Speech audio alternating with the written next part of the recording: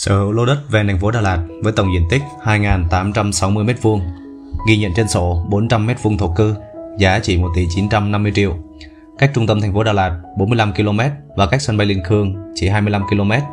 Khí hậu mát lạnh tương đương thành phố Đà Lạt, có view toàn cảnh về đầu thông Châu Sơn, pháp lý rõ ràng, sổ hồng riêng.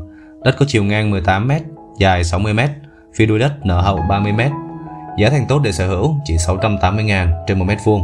So sánh giá khu vực hiện tại, đất thổ cư đang dao động từ trên 1 triệu trên 1 mét vuông. Nằm trong khu dân cư đúng đúc, hạ tầng hoàn thiện, đầy đủ tiện ích sống trong bán kính chỉ 3 km, phù hợp khách hàng mua đầu tư ven thành phố Đà Lạt, sở hữu để định cư hoặc làm nhà vườn nghỉ dưỡng. Mến chào quý anh chị. Vị trí hiện tại đang đứng thuộc khu vực xã Bờ Ró, huyện Đơn Dương. Hôm nay giới thiệu tới mọi người một sản phẩm nghỉ dưỡng có tổng diện tích là 2.861 m2. Trên đất đã có sẵn 400 m2 thổ cư chiều ngang của đất là 18 m dài là 60 m nở hậu là 30 m nha quý anh chị. Có view trực diện à, sau đất là hướng mặt về dãy núi Châu Sơn giáp với thành phố Đà Lạt.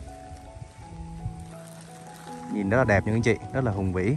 Lâm Đồng à, hiện tại đang là mùa mưa à, nên à, cảnh quan ở những dãy núi có hơi sương và mưa bay à, nên nhìn à, rất là tuyệt vời khí hậu rất là mát lạnh và cũng rất là yên bình. Anh chị nào mình đang muốn một tìm một sản phẩm nghỉ dưỡng thì mình có thể sẽ à, lựa chọn cái sản phẩm này với giá thành cực kỳ tốt chỉ 1 tỷ 950 triệu thôi. À, đất của chúng ta nằm trong khu dân cư hiện hữu. Xung quanh đều đã có dân cư ở hết rồi quý anh chị. Hạ tầng đều đã đồng bộ và hoàn thiện hết rồi. Sử dụng là đường điện nhà nước răng dưới đất. Là theo hướng tay em chị.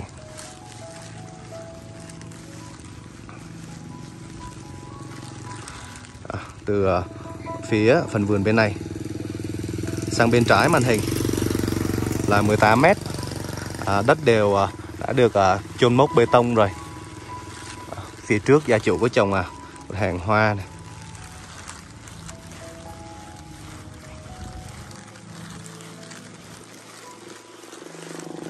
Sang cái mốc bên này. Là 18 mét những anh chị. Và chạy dài xuống phía đuôi kia là à, được khoảng à, à 60 mét. Trên đất là có 400 mét vuông đất ở. Thế đất là sẽ triền nhẹ. Không có dốc lắm đâu. À, giờ em sẽ đi xuống. À, mình sẽ có thêm một mặt tiền là lối đi chung ở bên này những anh chị. À, đã trừ cái phần đó ra rồi. À, diện tích của mình còn lại là 2.861 mét vuông đó, sẽ truyền về phía đuôi giáp với uh, nhà phía sau đó. À, hiện tại thì đang để lại cho người dân uh, trồng ớt. Uh, thuộc khu vực uh, trung tâm xã Pờ Ró. Uh, cách trường uh, tiểu học chỉ uh, 400 m thôi và cách trường uh, trung học là 500 m lát em sẽ quay cái tuyến đường em đi uh, ra để anh chị mình xem tuyến dân sinh cũng như là tiện ích xung quanh.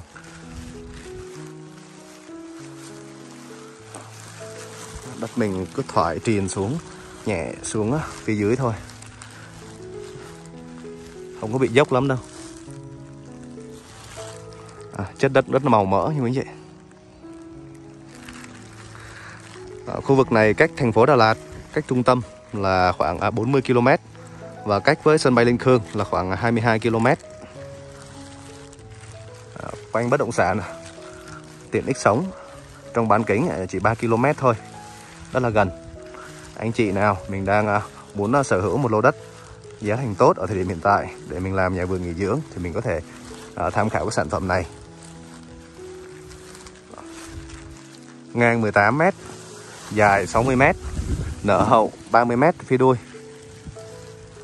Nằm trong khu dân cư. Và khu vực này thì chúng ta sẽ có vừa có người đồng bào vừa có người kinh ở chung với nhau nha quý anh chị. À, những người ở đây rất là hiền lành và gần gũi.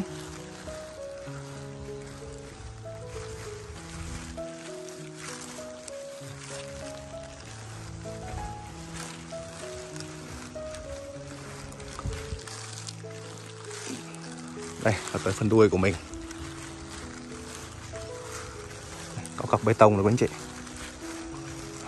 Đảm bảo ranh giới mình sử dụng ha. À, cái phần mặt tiền à, lối đi chung này sẽ không có hiển thị trên sổ đâu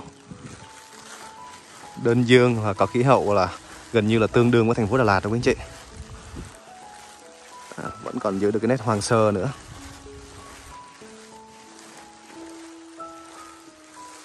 Hiện tại giá thổ cư tại đất thổ cư tại khu vực này cũng đã dao động trên 1 triệu trên 1 mét vuông rồi. À, giá của mình chỉ có 680 ngàn trên 1 mét vuông thôi. À, đã có sẵn thổ cư rồi. Anh chị mình muốn thì mình có thể tách ra thêm hoặc là mình sử dụng nguyên cái hiện trạng này. Cái diện tích này cũng vừa đủ à, để mình à, sử dụng. Anh chị có thể thấy cảnh quan ở xung quanh rất là yên tĩnh như là nhìn rất là gọn gàng ở cái địa điểm này. Đất của chúng ta ở đây tổng thể. 2.860 mét vuông giá chỉ 1 tỷ 950 triệu thôi. Có sẵn 400 mét vuông thổ cư rồi. Mình có thể ở canh tác là một căn à, Farmstay à, để mỗi dịp lên Đà Lạt mình có thể à, dừng chân tại đây cùng gia đình và người thân. Và như anh chị đang nhìn trên màn hình à, cái chấm đỏ là vị trí của lô đất của chúng ta à, nằm trong khu dân cư đông đúc à, thuộc xã Bờ Ró. Chấm màu đỏ trước mắt của mình là vị trí đất. Chiều ngang của mình là được à, 18m và dài xuống phía đuôi là 60 mét. À, con đường ở bên cạnh à, cũng đã ghi nhận ở trên à, bản đồ rồi. À, nhưng mà chỉ là lối đi chung thôi. À, chưa có ghi nhận vào bên sổ như quý anh chị. À, nhưng chị thấy thì xung quanh à, dân cư đều đã hiện hữu và đông đúc hết rồi. Cách trường tiểu học để em đo khoảng cách. Cách trường tiểu học chỉ 300 mét thôi nhưng mà mình đi thực tế là khoảng 350 mét. Bán kính cách trường à, trung học cơ sở là khoảng à, 400m thực tế mình di chuyển là khoảng à, 600m rồi um, cách trường trung học phổ thông là khoảng uh, 1,7 km theo đường chim bay. Thì thực tế mình sẽ di chuyển là trong khoảng là gần 3 km như quý anh chị. À, từ vị trí đất à, di chuyển ra ủy ban nhân dân xã Pro à, bán kính là chỉ có 700 m thôi. Thực tế mình di chuyển là khoảng à, à 1,3 km à, rất là gần. Toàn bộ tiện ích à, sống trường trạm chợ của mình trong bán kính chỉ từ 3 km thôi đảm bảo cái nhu cầu sống hàng ngày của mình. Bây giờ em sẽ đo cái khoảng cách mình di chuyển về à, sân bay Đà Lạt cho anh chị mình xem ha. Mình cách sân bay là khoảng à, 26 km khoảng 40 phút di chuyển. Và toàn bộ cái tuyến đường mình lưu thông à, đều là đường à, bê tông và đường nhựa hết rất là thuận tiện. Và mình sẽ cách với à, thành phố Đà Lạt. Là khoảng 43 km nha anh chị. Đây là về trung tâm thành phố luôn đó. Là mình sẽ đi được khoảng 43 km. Còn à, đi về địa phận thành phố Đà Lạt thì chỉ khoảng à, 26 km thôi.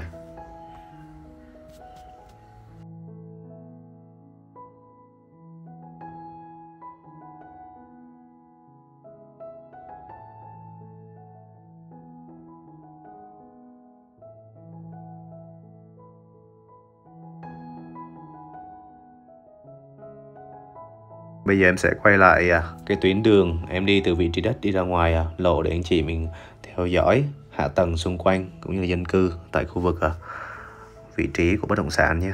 Anh chị nào quan tâm đến vị trí lô đất này có thể liên hệ trực tiếp với số điện thoại em để ở phần mô tả để em có thể đưa anh chị tới và có cảm nhận khách quan nhất. Cảm ơn anh chị đã dành thời gian theo dõi video. Chúc quý anh chị một ngày tốt lành.